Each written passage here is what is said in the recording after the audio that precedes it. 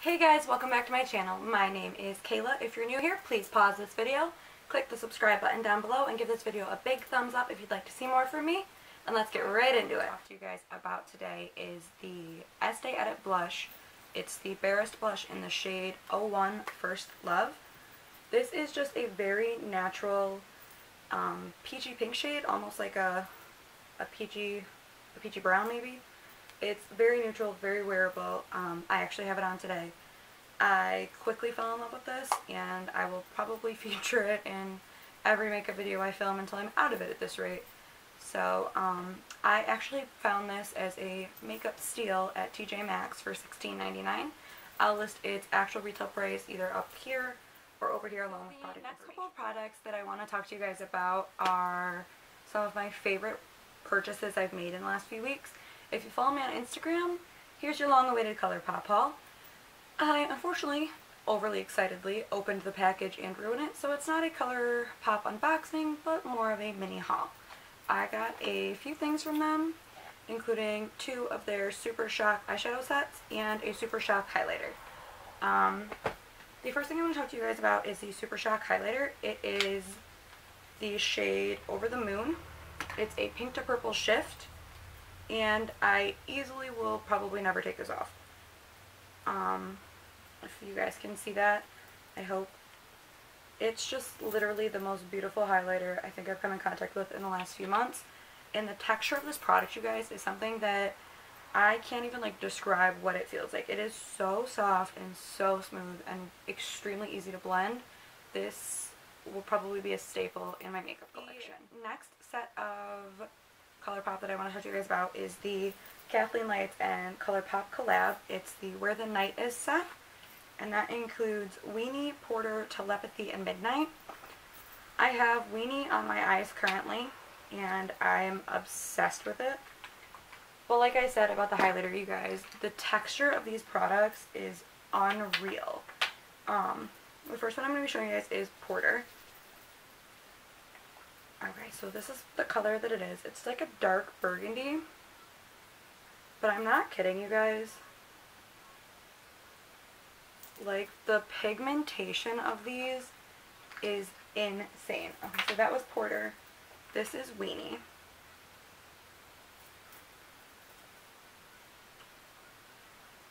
Like, it's, it's unreal. I think Weenie has to be my favorite of this set just because I'm super into, like, bronzy, like neutral golden looks. Alright, this is the shade Telepathy, which I thought I was going to hate, but you guys, literally liquid gold.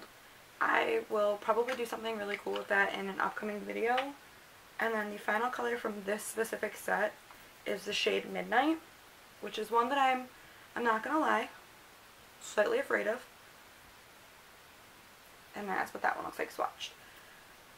I don't know what it is about ColourPop's Super Shock eyeshadows. They have got to be some of the most long-wearing eyeshadows I've ever come in contact with. I went to the zoo at 10 o'clock this morning and I've had this eyeshadow on my eyes since then and it hasn't budged at all. It hasn't creased. It's still just as vibrant as it was the moment I put it on. I can't say enough about these products and how much I love them. So expect a lot of tutorials about these and keep post updated on my Instagram. The next ColourPop product, I'm going to be talking about the Studio 1400 ColourPop set, which has some of my favorite eyeshadow colors that they've released in it. My first and foremost favorite being the shade White Rabbit, which is like a burnt, um, a burnt orange color. I'm going to use my right hand this time. So, I'm not kidding guys, like these are so insanely pigmented.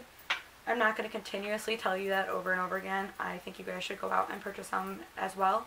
The next shade is Track 8. I'm getting a little bit ahead of myself here. So that is what that looks like. It is like a, I call it like a golden brown. It's very, very warm and there is a lot of like gold reflect in it.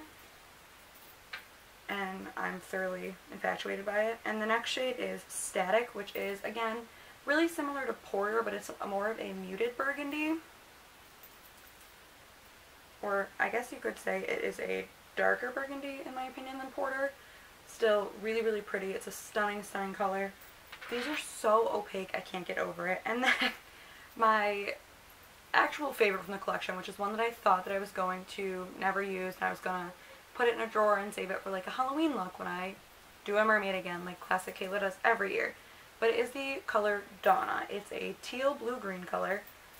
Let me find a clean finger. Guys, I actually recently did a look on my Instagram using Donna, and it has to be, I loved the look so, so much that I wore it two days in a row. I don't know why, I just fell in love with the, the shade, and it's not something I would typically wear. So I went a bit out of my, my comfort zone when I did that look. If you want to see it, you can check it out on my Instagram, which I will list right here, and it'll also be linked down in the description. Alright guys, moving on to the final product from my mini makeup haul. It is the Buxom Freezes Over lip set. Now these are plumping 15 piece mini lip collection from Buxom. It has um, mini lip polishes, mini full-on lip creams, and the whipped liquid lipsticks. Um, I'm not going to swatch all of these unless you guys want me to. Alright guys, the final, final product that I want to talk to you guys about is a repurchase of mine that I got on this mini haul. It is the Renpure Sea Minerals Dry Shampoo in the Easy Breezy Clean scent. You guys know that I raved about this in my last video, my March favorites or hits and misses is I think what I named it. This stuff just smells like the beach. It makes me want to be at the beach, it gives me total beach vibes, and it doesn't leave the white run-of-the-mill dry shampoo color in my hair, which I find that a lot of them do. So this is one that I will definitely continue to repurchase. I found mine as a beauty steal at TJ Maxx for $6.99. So if you guys have a TJ Maxx near you, I would check it out. It's typically in their beauty section. Well, there you have it, guys. Thanks for coming back to my channel and watching this. And again, if you're new here, please hit the subscribe button down below. Give this video a big thumbs up if you want to see some more from me. And keep an eye on my Instagram for updated makeup looks and potential possible future tutorials. Thanks, guys. Bye.